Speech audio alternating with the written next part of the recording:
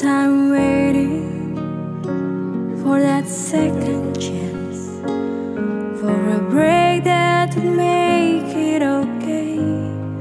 There's always some reason to feel not good enough, and it's hard by the end of the day.